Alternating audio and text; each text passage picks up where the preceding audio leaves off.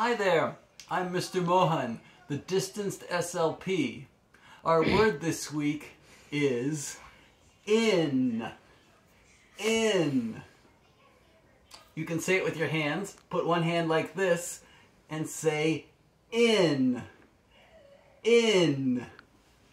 You can say it with your voice like this. In.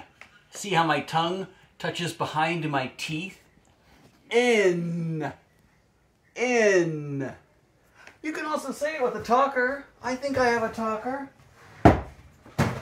I do have a talker. I can say In. In. I have some friends here today. I have Taro the cat. Taro, do you have a way to say in? I'm not sure. I'm not sure if that's in your vocabulary. And here's Sushi the cat. Sushi the cat is in her covers. Do you have a way to say in sushi? If you do, I'm not sure what it is. Well, I do have some junk in my house. And you can do it just like me. Take a container and put things in. Quarter, in. A screw thingy, in. A adapter thing, in. A plastic lens type disc, in. A lanyard, in. Huh. I don't know. In.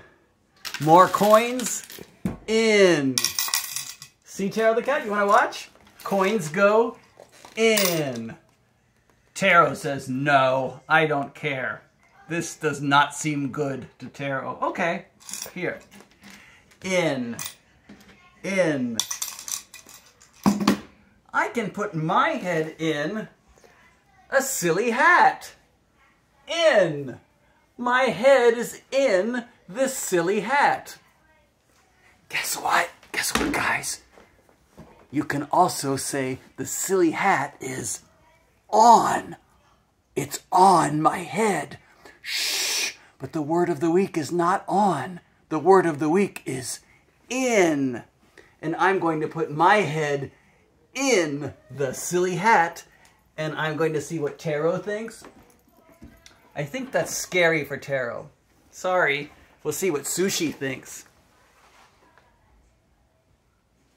Sushi's not interested. Well, I hope you guys have a good day and remember to say in.